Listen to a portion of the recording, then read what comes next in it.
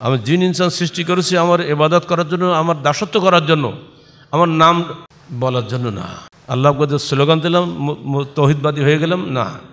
যদি দাসত্ব নেই, আনুগত্য নেই, বিধান মানে না, আমি বড় মুসলমান, এটা হবে না। নবীরা সব পরস্পর ভাই ভাই, বেমাতা ভাইয়ের মতো, এরা সবাই ভাই, মা আলাদা। দিন হুম ওয়াহেদ। সবার দিন ছিল একটাই, তহিদ লাইল্লাহ ইয়ং ব্লাড যুব সংঘদের কাজ করবে। ঠিক দেখেছে আমার আল্লাহ রসুলের কাছে, মদিনাতে যারা বায়াত করতে গেছে, নেতৃত্ব দিয়েছে আসাদ জোরারা, ইয়ং সবচেয়ে youngest member of the body সবচেয়ে বয়সে কম সে নেতা। আজকে ইনশাআল্লাহ বাংলার জমিনে যুব সংঘের নেতৃত্ব দান করবে এই দেশে তৌহিদের আন্দোলনে। আমার উম্মতের মধ্যে একদল চিরদিন হকের উপরে বিজয়ী থাকবে। একটা হলো আমার উম্মত অবশ্যই বিগত পথভ্রষ্ট উম্মতগুলির অনুসরণ করবে আর একটা হলো, অবশ্যই তার বিপরীতে আমার উম্মতের মধ্যে একদল হকপন্থী থাকবে কেমন পর্যন্ত। আর্মি পোশাক পরলে তো আর্মি মেজাজ চলে আসবে। ঠিক এলমি পোশাক পরলে আলামের মেজাজ চলে আসবে। তো পোশাকের পার্থক্য নেই? অনেকে বলে, পোশাকের পার্থক্য, যা পরে তাই হবে। জি না, যেমনি সাজো, তেমনি সাজি। পোশাকের কি দোষ? জি না এসে চলবে না। আপনাকে পোশাক অবশ্যই মোর্শেক কাফেরদের পোশাকের সাদৃশ্য অবলম্বন করা যাবে না। রাজনীতির নামে পূজা হচ্ছে। ধর্মের নামে কবর পূজা হচ্ছে। রাজনীতির নামেও কবর পূজা হচ্ছে। এটা হলো নেশারুল বেদাইফিল এবাদাত এবাদাতের নামে এগুলো হচ্ছে। যার যত যুক্তি বুঝতে সে তত উক্তি থেকে দূরে। হাদিসে অত যুক্তি নাই। যুক্তি আছে শয়তানের। আহলেদিস আন্দোলন বাংলাদেশ। আসুন পবিত্র কুরআন ও সহি হাদিসের আলোকে জীবন গড়ি। আলহামদুলিল্লাহ আলহামদুলিল্লাহ নাহমাদুহু ওয়া নাস্তাঈনুহু ওয়া নাস্তাগফিরুহু ওয়া ونعوذ بالله من شرور أنفسنا ومن سيئات أعمالنا. من يهده الله فلا مضل له ومن يضلل فلا هادي له. ونشهد أن لا إله إلا الله وحده لا شريك له. ونشهد أن محمدا عبده ورسوله. يا أيها الذين آمنوا اتقوا الله حق تقاته ولا تموتن إلا وأنتم مسلمون. يا أيها الناس اتقوا ربكم الذي خلقكم من نفس واحدة وخلق منها زوجها وبث منهما رجالا كثيرا ونساء. واتقوا الله الذي تساءلون به والأرحام. إن الله كان عليكم رقيبا يا أيها الذين آمنوا اتقوا الله وقولوا قولا سديدا يصلح لكم أعمالكم ويغفر لكم ذنوبكم ومن يطع الله ورسوله فقد فاز فوزا عظيما أما بعد فقد قال الله تعالى في الكلام المجيد فأعوذ بالله السميع العليم من الشيطان الرجيم. بسم الله الرحمن الرحيم. شرع لكم من الدين ما وصى به نوحا والذين أوحينا والذي أوحينا إليك وما وصينا به نوحا والذي نوحا وموسى وعيسى أن أقيموا الدين ولا تتفرقوا فيه كبر على المشركين ما تدعوهم إليه الله يجتبي إليه من يشاء ويهدي إليه من ينيب سورة সুরা মাক্কি তেরো আয়াত যাবতীয় হামদ সানা আল্লাহ রব আলমিনের জন্য এবং যাবতীয় দরুদ সালাতার শেষ নবী মোহাম্মদ রসুল্লাহ সাল্লাহ আলহি আসাল্লামের জন্য। আমরা জানি যে আরবের লোকেরা বিশেষ কুরাইশ বংশের লোকেরা আল্লাহতে বিশ্বাসী ছিলেন, কিয়ামতে বিশ্বাসী ছিলেন। তাদের নাম ছিল আবদুল্লাহ, আব্দুল মোত্তালেব, আবু তালেব। নামগুলো ইসলামী নাম নয় কি? আল্লাহ রসুলের আব্বার নাম কী ছিল? আবদুল্লাহ। দাদার নাম আব্দুল মোত্তালেব। চাচার নাম আবু, দাদার নাম আবু তালেব। সবই তো ইসলামী নাম। এখানে ইসলাম আসার কি দরকার? প্রশ্ন হবে না? যারা কাফের, সেখানে ইসলাম, নবী আসবে। এরা তো মার্শাল্লাহ ইসলামের নাম বহন করছে, শুধু তাই না? মক্কার হারামের তারা মতো অল্লি মানুষের হজের যারা আসছেন সেই সময় কোনো চুরি ডাকাতি হয়তো, ওনারা সেগুলো তাদের সেভ করেন। তাদের পানির ব্যবস্থাপনা, সেকায়া, তাদেরই দায়িত্ব ছিল। এত খেদমত করা সত্ত্বেও তারা আল্লাপাক সেখানে শেষ নবীকে প্রেরণ করলেন কেন? এবং সেখানে এই আয়াতটা নাজিল হচ্ছে, সারা আলা মিনা দিন এমা ওয়াসাবি নুহান। দেখো, তোমাদের জন্য একটা দিন আমি সাব্যস্ত করে দিলাম। যে দিনের বিষয়ে বিষয়ে আল্লাহ ওসিয়াত করেছেন, অর্থাৎ জোরদার নির্দেশ দিয়েছেন নুহকে ওল্লাজি আওহায়না এলাইকা এবং, হে মোহাম্মদ, তোমার কাছে যে বিষয়ে আমি ওহি করছি ওমা বিহি ইব্রাহিমা ওয়া মুসা ওয়া ঈসা। এবং যে বিষয়ে আমরা ওসিয়াত করেছিলাম, অর্থাৎ নির্দেশ দিয়েছিলাম ইব্রাহিমকে, মুসাকে, ঈসাকে, কী সে বিষয়টি? নাকিমুদ্দিন ওলা তাফার কফিহে তোমরা দিন কায়েম করো, এ বিষয়ে কোনো মতভেদ করো না।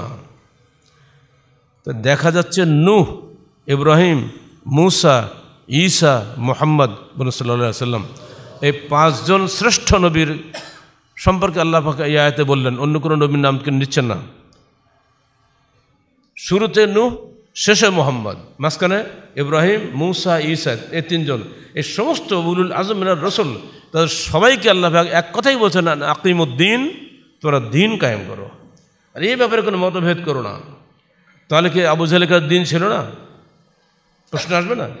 নিঃসন্দেহে আবু জাহেল আল্লাহকে বিশ্বাস করতেন। আবু তালেব আব্দুল মোতালেব আল্লাহকে বিশ্বাস করতেন। তারা পরকালে বিশ্বাসী ছিলেন। নইলে আব্রাহা যখন আসলো কাবা ঘরে ধ্বংস করার জন্য, তখন এই আব্দুল মোত্তালেবের দোয়ার কারণেই তো আল্লাহর পক্ষ থেকে হাজার হাজার পক্ষে নাজিল হলো না। তয়রান আবাবিল। মনে আছে তো সুরা ফিল? তাহলে তারে যদি তারা আল্লাহকে না ডাকতো ওই সময়, তো আল্লাহর পক্ষ থেকে পাখি নাজিল হতো নাকি? বোঝা গেল তারা আল্লাহকে বিশ্বাস করতেন। তার পরকালে বিশ্বাসী ছিলেন, তারা জান্নাত জাহান্নাম বিশ্বাসী ছিলেন। এরপরও আল্লাহবাক তাদের কাছে শেষ নবীকে প্রেরণ করলেন। কেন? এ কেনের মধ্যে আজকের খুদ্া সুরাটা মাক্কি। এবং সুরা শুরু হয়েছে দুটো আয়াতের মতো সাহাবে দিয়ে। হামিম, আইন, সিন, কফ। আয়াতে মতাসাবা অত্যন্ত গুরুত্বপূর্ণ। মহকাম আয়াতের সাথে মতাসাবা আয়াতের গুরুত্ব সবচেয়ে বেশি। যেগুলোর অর্থ আল্লাহ সর্বাধিক অবগত। এই পঞ্চাশটি আয়াত বিশিষ্ট এই সুরার, বাকি আটচল্লিশটার মধ্যে আল মেহবার রাইসি প্রধান প্রতিপাদ্য বিষয় হচ্ছে আল আকিমুদ্দিন দিন কায়েম করা। অর্থাৎ তৌহিদ কায়েম করা। আল্লামা ফিরোজ আবাদী, ইমাম কর্তুবী, ইমাম ইবনু কাসির সবাই বলছেন এর অর্থ হচ্ছে একটাই তোমরা হুয়া তৌহিদুল্লাহ ও তাতহু পুনর্জন মুফাসের সার সংক্ষেপ হচ্ছে এটাই। আকিমুদ্দিন অর্থ হচ্ছে হুয়া তৌহিদুল্লাহ ও তাতহু আল্লাহর তৌহিদ একত্র কায়েম করা এবং তার আনুগত্য করা। কোরআনদের মধ্যে আল্লাহর একত্র ছিল, আনুগত্য ছিল না। আল্লাহ বলছেন, ওমা খালাকুল জিন্ন আল ইনসা ইল্লা লাই আবুদন আমি জিন ইনসান সৃষ্টি করেছি আমার এবাদত করার জন্য, আমার দাসত্ব করার জন্য, আমার নাম বলার জন্য না। আল্লাহ স্লোগান দিলাম তহিদবাদী হয়ে গেলাম, না। যদি দাসত্ব নেই, আনুগত্য নেই, বিধান মানে না, আমি বড় মুসলমান, এটা হবে না। আল্লামা ফিরোজাবাদী বলছেন, ইন্নম কদ বদ্দাল্লু উদ্দিন আহম ও নবী সাল্লাম লাম ইয়াকুন ইল্লা আলাইহে। আল্লাহর নবীর বাপ দাদারা দিনকে, অর্থাৎ তৌহিদকে পরিবর্তন করে ফেলেছিল শিরকের দিকে। অথচ উনি ছিলেন তৌহিদের উপরে কখনই শিরকের সঙ্গে আপোষ করেন নাই। এবং এটা জন্ম থেকেই। আমি তো কালকে একসময় বলছিলাম, জায়াদ বিন হারেসা যিনি সবসময় আল্লাহ রসুলের সাথী ছিলেন, উনি বলতেন, আমার তো ছোটো, তা মূর্তি পূজার ওখানে যেতাম মূর্তি যখন হচ্ছে বাপদাদার করে তো সেখানে গিয়ে আমি একদিন মূর্তির মাথায় হাত দিয়েছিলাম। আমার সঙ্গে মোহাম্মদ ছিল, আমাকে এক হাত ঠেলে দিল, এই বেটা ওতে হাত দিতে হয় না। ছোট তখন। তখন থেকেই উনি মূর্তি পূজার বিরোধী ছিলেন। আল্লাহবাক যাকে নবী হিসেবে গ্রহণ করবেন চল্লিশ বছর বয়সে গেলে, শুরু থেকেই তাকে এমনি করে নিষ্পাপ রেখেছিলেন মূর্তি পূজার শিরিক থেকে। আল্লাহ বলছেন আমা আর সাল্লাহ কবলিকা মের রসুলিন ইল্লা নুহি ইলাইহে আন্নাহু লা ইলাহা ইল্লা আনা ফাবুদুন। আম্বিয়া মাক্কি পঁচিশ আয়াত। এটা মাক্কি আয়াত, সুরা। আমরা তোমার পূর্বে যত রসুল প্রেরণ করছি দুনিয়াতে, সবার কাছে একটাই কথা বলে দিয়েছি, লা ইলাহা ইল্লা আনা ফাবুদুন। একমাত্র আমি ছাড়া কোনো এলাহ নাই, অতএব তোমরা আমার দাসত্ব করো। আন আবি হরাইতা রাজু কাল রসুল্লাহ সাল্লাহ সাল্লাম বলেন সাল্লাহ আলী আসাল্লাম আল্লাহ আম্বিয়া ও আল্লাহ ইখওয়াতুল্লি আল্লাহ ও মাহাতুম সত্তা ও দিন ওয়াহেদ মোত্তাকুন আলাই রসুল্লাহ সাল্লাহ সাল্লাম ইরশাদ করছেন, নবীরা সব পরস্পর ভাই ভাই, বিমাতা ভাইয়ের মতো। এরা সবাই ভাই, মা আলাদা। দিন হুম ওয়াহেদ। সবার দিন ছিল একটাই, তহিদ। লাইলাহ ইল্লাল্লাহ। মুসা কালিমুল্লাহ লাইল্লাহ ঈসা রুহুল্লাহ লাইল্লাহ মোহাম্মদ রসুল্লাহ শেষের অংশ পাল্টেছে প্রথম অংশ পাল্টায়নি কোথাও। কোরআনদের সমস্যা হয়েছিল এই, তারা তৌহিদ এবাদত পরিবর্তন করে তৌহিদ রবুবিয়তের দিকে চলে গেছিল আল্লাহকে রব হিসাবে স্বীকার করতে রাজি ছিল তো আল্লাহর বিধান মানতে রাজি ছিল না। শেষ জমানায় এসে ভারতে এবং মিশরে দুজন দর্শনের আবির্ভাব ঘটে।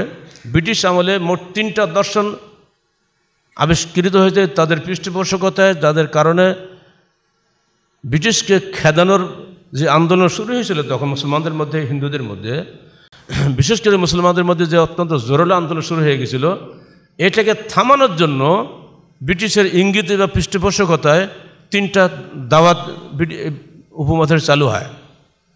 একটা উনিশশো আট সালে একটা উনিশশো একুশ সালে একটা উনিশশো একচল্লিশ সালে। আট সালে কাদিয়ানি, গোলাম আহমদ কাদিয়ানি সে নৌবতের দাবি করল, একুশ সালে মেওয়াত উপজেলাতে সেখানে তবলিক জামাত চালু হলো, একচল্লিশ সালে জামাত ইসলাম চালু হলো। তৎকালীন সময়ে যারা মুসলিম লীগ করতেন, তারা সবাই এটাকে মুসলিম লীগের পিঠে ছুরি মারার জন্য ব্রিটিশের ষড়যন্ত্র বলে বিশ্বাস করতেন। সেটা আমরাও দেখেছি আমাদের ছাত্র জীবনে। আমার আব্বা যখন আমাকে কলেজে আমি গেলাম, তখন আমাকে বাবা, কলেজ যাচ্ছ খতের মৌদুদির বই যেন পড়ো না। বুঝতাম যে এই আব্বা, এটা কী বলল? আপনারা জানেন যে, যাকে যেটা নিষিদ্ধ করা সে সেটা করার জন্য বেশি আগ্রহী হয় না। আছে না এটা আরবিতে? আল্লাহ ইনসান হারিজুন ফিমা মনে আমরা জিদ জিদ্দুল্লাহ। আব্বা, কেন না করলে? দেখি তো কী আছে এর মধ্যে। যত হাড়ি নাড়ি, যত বই পেয়েছে, সব কেনা সারা। পড়ে পড়ে বুঝলাম, বাপরে বাপ, এর পেসের কথা, এত যুক্তি, এর মধ্যে ঢুকলে তো মাথা শেষ। যার যত যুক্তি, বুঝতে সে তত উক্তি থেকে দূরে। হাদিসে অত যুক্তি নাই, যুক্তি আছে শয়তানের। আউ আলমান কাসা, কে? ইবলিস। প্রথম যুক্তি দিয়েছিল কে? খালাক্তাহু মেন, কে? খালাক্তানি মেন নার ও খালাক্তাহু মেন তিন। আল্লাহ তুমি আমাকে আগুন দিয়ে সৃষ্টি করছ, আর আদমকে মাটি দিয়ে সৃষ্টি করছ, আগুন কি মাটির কাছে সেজা করবে, না মাটি আগুন কাছে করবে? যুক্তি না এটা? তাও আলমান কাসা ইবলিস বলা হয়। তো যারা যুক্তি দিয়ে খণ্ডন করতে চায়, সাবধান তাদের থেকে। ইসলামকে, ইসলাম যুক্তি দিয়ে দিয়ে এমনভাবে তারা লিখেছে বইপত্র, যে ওইটাই যেন ফাইনাল তা আমরা যেহেতু আব্বাস ছিলেন আমার পিছনে, নইলে আমিও চলে যেতাম। ওই আলামের ঘরে যদি আমার জন্ম না হতো আমি কোথায় উড়ে যেতাম কারণ আমাকে নেওয়ার জন্য সমস্ত দল পাগল ছিল? কারণ ভালো ছাত্র। মাদ্রাসা লাইনে বা সারা পূর্ব পাকিস্তানের ষোলো নম্বর এক্সটার্ন করা লোক আমি। সমস্ত পূর্ব পাকিস্তান ছেলে এর একটা একটা ছাত্র আছে, বাপরে বাপ। আমাকে দলে টানার জন্য সবাই ইসলাম আল্লাহ তো পাগল। আরও শুনবেন, এই ছাত্রলীগ করে পাগল আছে, ওরা আমাকে একটা বই দিয়েছে সমাজতন্ত্রকে যেমন দেখেছি। এই পাগল, এই যে জামাত ইসলামের বই। তুই আমাকে দেশে কেন? ব্যাস বুঝতে পারি তো? ওই দেখতে সমাজতন্ত্র দেখছে, তাহলে এটা নিশ্চয় হচ্ছে আমাদের পক্ষে হবে। আর ওরা বিপক্ষে লেখা, ও বুঝতে পারেনি অধ্যক্ষের উল্লুক দুই লেখা। এইরকম পাগল্লা সংগ্রহ করে আজকে, বুঝলে? তো যাই হোক, ও দরকার নেই। তাহলে এটাই বলছি, খবরদার, মুরব্বীর নির্দেশ। ওই ওর বই জানে ওনার বই জানে পড়ো না। পরে দেখছি, আমি দিল্লি যখন সফর করলাম তখন দিল্লিতে অরিজিনাল রাইটিংস একদম উর্দুতে লেখা, অনুবাদে তো অনেক সমস্যা থাকে। ওর অরিজিনাল রাইটিং যত আছে ওনার, সব নিয়ে এসছেন সব আমার বাসায় আছে। সেখান থেকে খালি দুটো লাইন শুনলে বুঝতে পারবেন। তার দৃষ্টিতে তহিদের ব্যাখ্যা কি? দিন দিন অর্থ আমরা তহিদ দেখলাম না? আর তার ব্যাখ্যা হচ্ছে, দিন দরাসল হুকুমত কা নাম হয় দিন অর্থ হুকুমত। বুঝতে পারলেন তো নাকি? হুকুমত অর্থ কি? রাষ্ট্র ক্ষমতা যেন তেন প্রকার ক্ষমতা দখল করাটাই হচ্ছে দিন এ অর্থ ঠিক হবে সবাই তো তাই করে তুমি কটা করো ভোট আসলি সব ওখানে ইসলামের নামে ভোট দে सब कबर के मुक्ति पाबो बस खलास इस दीन दरअसल हुकूमत का नाम है शरीयत उस हुकूमत का कानून है और इबादत उस कानून का उस जाबता की पाबंदी है ওনার লিজের খোদবা অর্থাৎ ভাষণ সময়ের সমষ্টির নাম হচ্ছে খোতবাত তা তিনশো বিশ পৃষ্ঠা পড়েন এক অরিজিনাল বই থেকেই ওটা অনুবাদটার দরকার নেই এবার আসেন এই इबादत हकीकत की व्याख्या उस इबादत की हकीकत जिसके मतलब लोगों ने समझ रखा है कि वो महज नमाज रोज़ा तस्बी तहलील का नाम है और दुनिया के मामलात से उसको कुछ सरोकार नहीं है हालांकि दरअसल सौम व सलात हज और ज़क़़त ज़िक्र व तस्बी इंसान को उस बड़ी इबादत के लिए मुस्ताद करने वाली यानी तमरीनात है तफीमत প্রথম খণ্ড উনসত্তর পৃষ্ঠা এ আমরা যে সালাদ সিয়াম জুমা ঈদান যা করি এগুলো ওই বড় ইবাদতের জন্য ট্রেনিং কোর্স হুকুমতের জন্য এগুলো ট্রেনিং কোর্স ট্রেনিং কোর্সের নিয়ে যদি আপনি সালাদ আদায় করেন ট্রেনিং শেষ সালাতো শেষ প্রধান সেনাপতি সকালে পিটি করে পিটি করে কনস্টেবলগুলো নতুন নতুন যারা ঢোকে, ওরা পিটি করে জান বের করে দেয়। আর প্রধান সেনাপতি খালি কমান্ড দেয় লেফট রাইট লেফট রাইট উনি নিজে কি করে? তো ট্রেনিং তো ওনার শেষ, এখন তো দরকার নেই। তা আপনার ট্রেনিং শেষ সালাতো শেষ, সিয়ামও শেষ, তাই তো? তাই কি অর্থ তাই হবে? মৃত্যুর আগ মুহূর্ত পর্যন্ত আপনার সালাদ বন্ধ আছে? ফজকুরুল্লাহ কেয়ামা জুনুবহিম। দাঁড়ানো অবস্থায়, বসা অবস্থায়, ঠেস দিয়ে হলেও যে কোনো বলে তোমার সালাত আদায় করতে এমনকি ইশারাতে হলেও সালাত আদায় করতে হবে। তাহলে ট্রেনিং কোর্স শেষ হবে? এটা আমাদের দায়মি একেবারে ফরজ, একেবারে মৃত্যু পর্যন্ত চলবে। অথচ ব্যাখ্যা হয়ে গেল কি সব ট্রেনিং কোর্স আসল বেবাদত হচ্ছে হুকুমত কায়েম করা। এই ব্যাখ্যা যখন পড়লাম তো আব্বা, আমাকে এমন একটা জিনিস থেকে ইঙ্গিত দিয়েছিলেন। আজকে আমি বুঝলাম আসলে জিনিসটা কত মারাত্মক জিনিস ছিল। যাই হোক, সাবধান থাকবেন। একামতে দিন অর্থ কী তাহলে? একামতে আবার বলেন দিন অর্থ? আহলাদ বাংলাদেশ বাংলাদেশ আহলাদ যুব সংঘের কোনো পর্যায়ের কোনো কর্মী, কোনো সমর্থক যেন এই দিন অর্থ হুকুমত বিরোধী বিশ্বাস না করে। সাবধান থাকবেন। আল্লাহ বলছেন ইন্নআল্লাহ তরামিনাল মিনা আনফুসাম বিয়ানুল জান্না আল্লাহ জান্নাতের বিনিময়ে মোমিনের জানমাল খরিদ করে নিয়েছেন। তিনি এর উপরে মদিনা থেকে যারা আসলো, পরপর তিনটা বায়াত হয়েছে। প্রথম বায়াতে ছয়জন, দ্বিতীয় বায়াতে বারো জন তৃতীয় বায়াতে পঁচাত্তর জন তেমন মহিলা ছিলেন। সেখানে তিনি তাদের কাছ থেকে বায়াত নিয়েছিলেন। ছয়জনের যে বায়াত নিল, তারা এক বছর মেহনত করে বারো জন হলো চিন্তা করতে পারেন, এক বছর ধরে মাত্র বারো জন এরপরে আর এক বছর ধরে পঁচাত্তর জন একটি যাতা ব্যাপার মনে করেন নাকি? যখন বায়াত নিয়ে শেষ করে হচ্ছে, তখন তারা বলছে আর বায়াত যিনি নিচে আসছেন, যার নেতৃত্ব তিনি আস আদবিন জোরারা। সবচেয়ে বয়কনিষ্ঠ। এটাই সবচেয়ে বড় আনন্দের বিষয়। আমার জন্য যখন আমি শুরু করছিলাম যুবসংঘ দিয়ে, তখন আমি এই হাদিসটা বলেছিলাম যে আমি যুবসংঘকে নেব, বুড়োদের কাছে যাব না। বুড়োদের মাথা দুনিয়ার চিন্তা।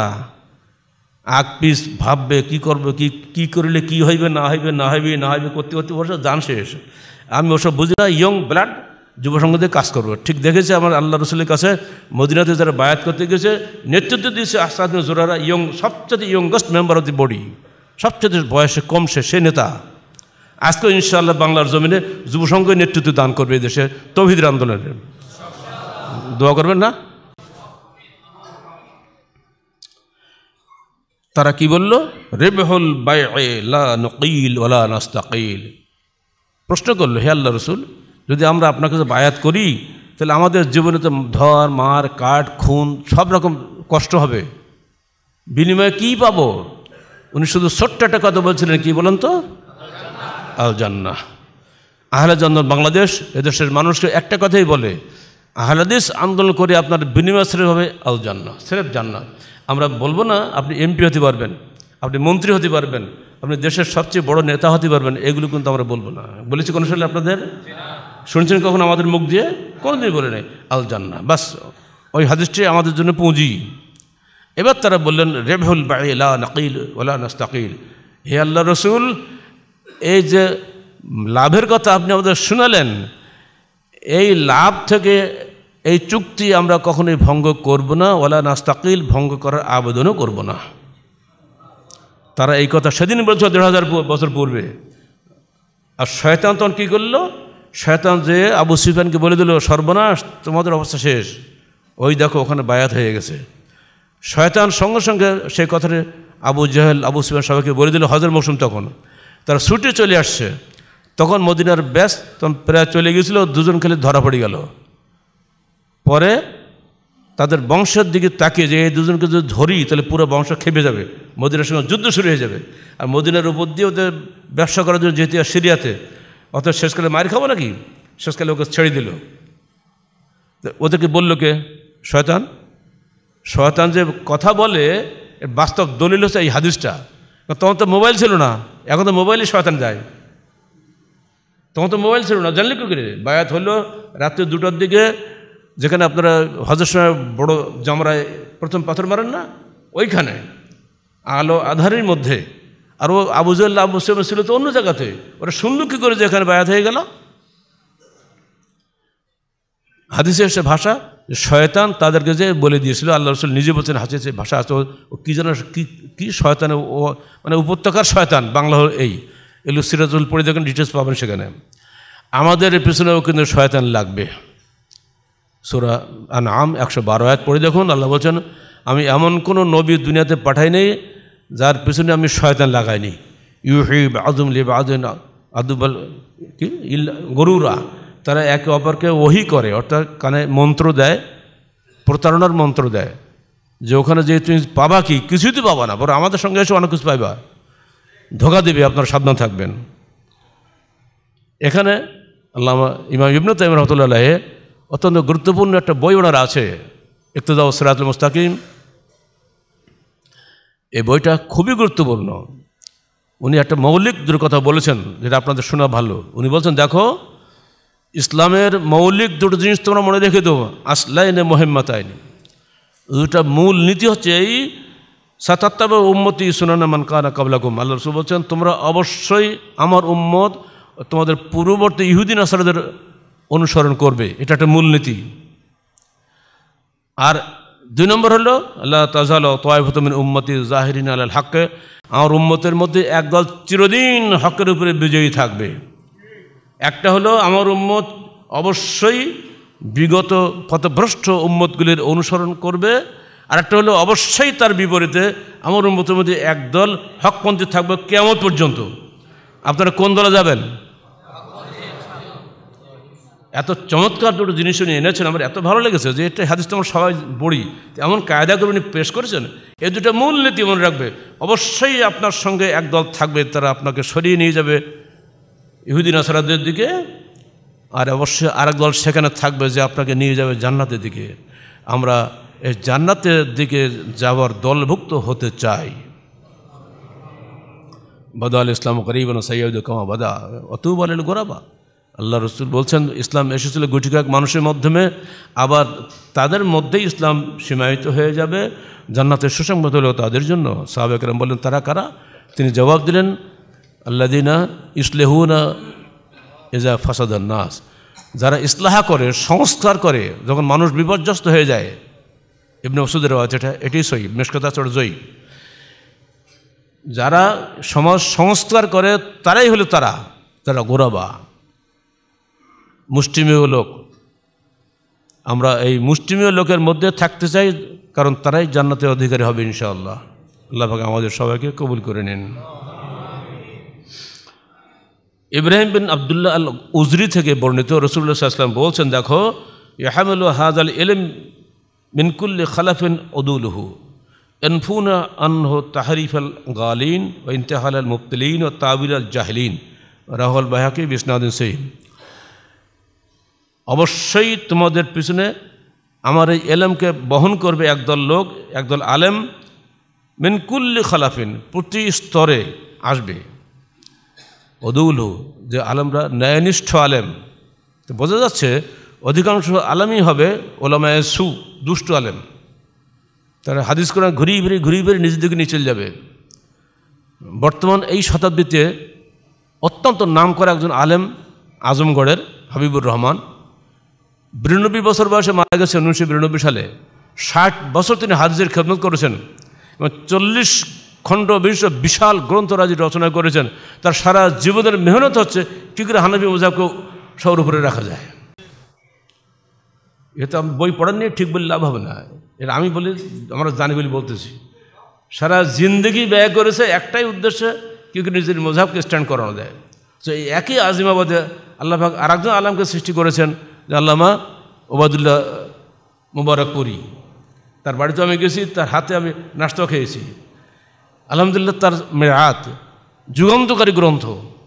ওনার দ্বারা আল্লাহ মেরাত করিয়ে দিয়েছেন, এনার দ্বারা বিপরীতে করেছেন, কিন্তু হাবিবুর রহমানের খবর নাই। মেরাতটাই সবাই গ্রহণ করেছে। একই যুগে আল্লাহ শেখ আলবানিকে জন্মদান করেছেন। আলবানির মাধ্যমে হাদিসের যে সহি জয়ীফের বাছাই করা উনি করে গেছেন, অতুলনীয় খেদমত বর্তমান বিশ্বে মহাদিস আসর বলা হয়ে থাকে। দেখা যাচ্ছে, হাইবুরান আজমির সমস্ত ষাট বছরের এলেম বরবাদ হয়ে গেছে, আলবানির সামনে আর ওবাদুল্লাহ মোবারকবাড়ির সামনে। আমরা কোনটা ধরবো? ধরবো সেটাই যিনি সত্যিকার অর্থে এই লা তাজল দলভুক্ত, সেই আলমের কথা আমরা ধরবো, আমরা সেটাই ধরি। তিনি বলছেন, পরবর্তী যুগে অবশ্যই একদল আলেম থাকবে যারা সবসময় আনফুন আনহ তাহারিফেল গালিন।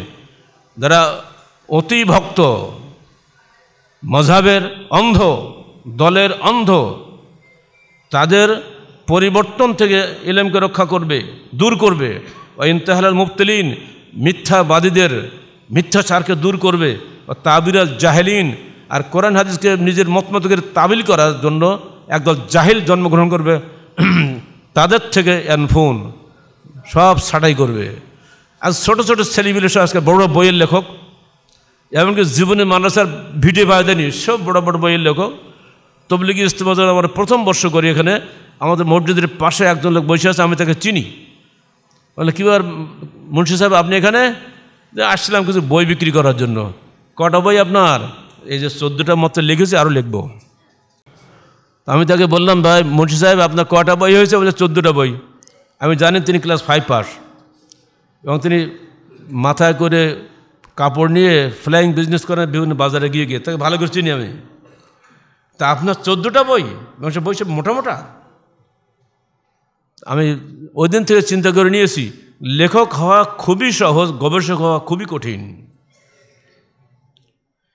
পাঁচটা বই এক জায়গায় একটা লেখক দিব্যাটা বই খাড়া করে দিছে এইগুলো চলছে, সে যুগেও চলছে, আজও চলছে, আগামী যুগেও চলবে এগুলা।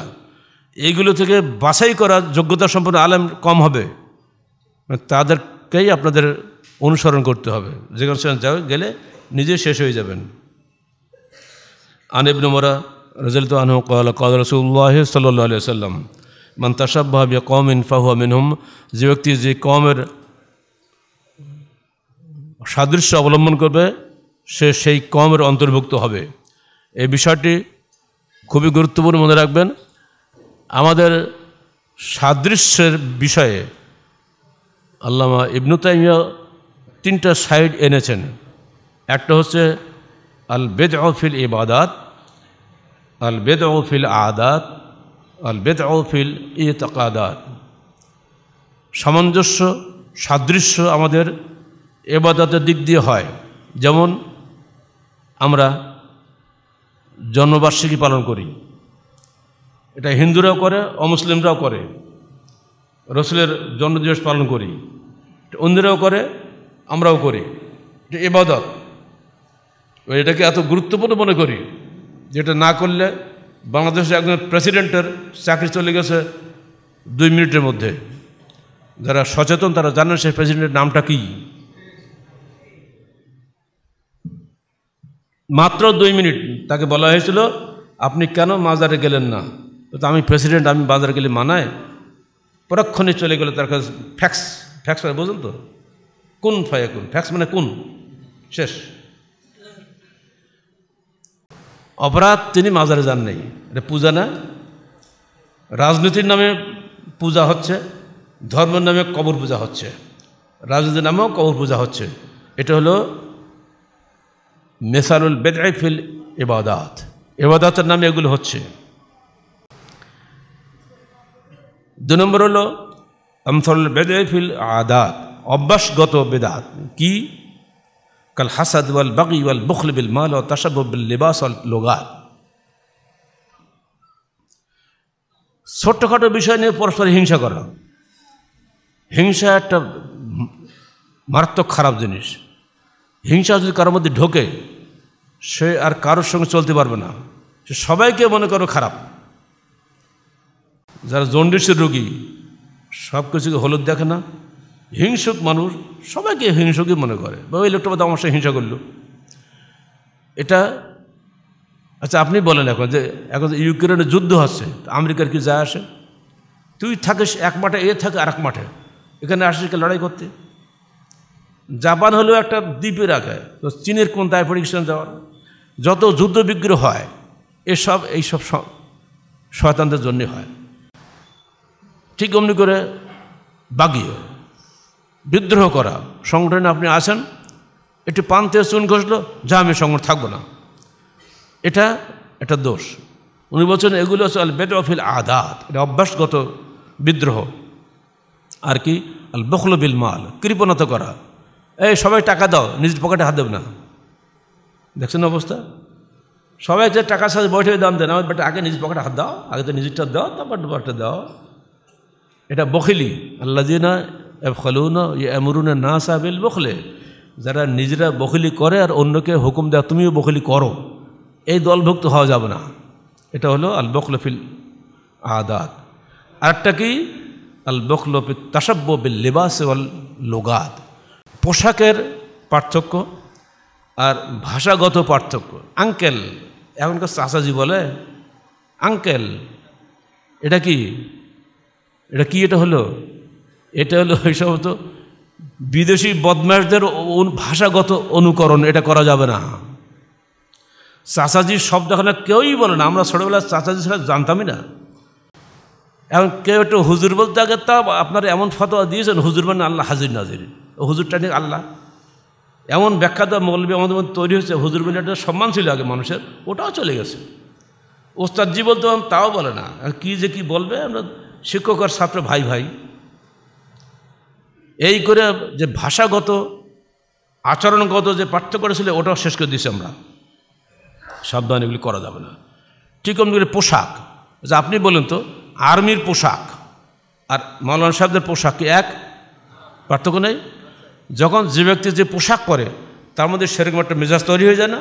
লেফট রাইট লেফট রাইট ও ধুতি পরি হবে? আর্মি পোশাক পরলে তো আর্মি মেজাজ চলে আসবে। ঠিক এলমি পোশাক পরলে আলামের মেজাজ চলে আসবে। তো পোশাকের পার্থক্য নেই? অনেকে বলে পোশাকের পার্থক্য যা পরে তাই হবে। জি না। যেমনি সাজো তেমনি সাজি। পোশাকের কি দোষ? জি না এসে চলবে না। আপনাকে পোশাক অবশ্যই মোর্শেক কাফেরদের পোশাকের সাদৃশ্য অবলম্বন করা যাবে না। মনে থাকব তো? এবার আসেন আল্লাহ বেদফিল ইতাকাদাত আকিদাগত বেদাত। কি? কবরের উপরে মসজিদ বানাচ্ছেন বা কবরের পাশে মসজিদ বানাচ্ছেন। বাংলাদেশে যত কবর পূজা হয়, সব কবরের পাশে মসজিদ আছে না? মসজিদের নাম করে তারা টাকা নিচ্ছে, বানাচ্ছে কবর। অথচ যিনি কবর বানাচ্ছেন, সেখানে আবার শুরু হচ্ছে সুফি সাহেবদের মারাপতি তরিকা, হাল। এমনভাবে তারা সুফিগিরি কী সব বানিয়েছে না? বিভিন্ন তরিকার মেহনত আছে। হু হু হু হু করতে করতে চিতি পড়ে যায়, চিৎপাত হয়ে। বাসবেই ওপরে ওঠেও কিন্তু হাড়ি পড়ে যায়। মানুষের গার উপরে পড়ে, কী হয়েছে? ফানাফিল্লা হয়ে গেছে। ও দুনিয়াতে নাই। ছোটোবেলা দুষ্টুমি বলব?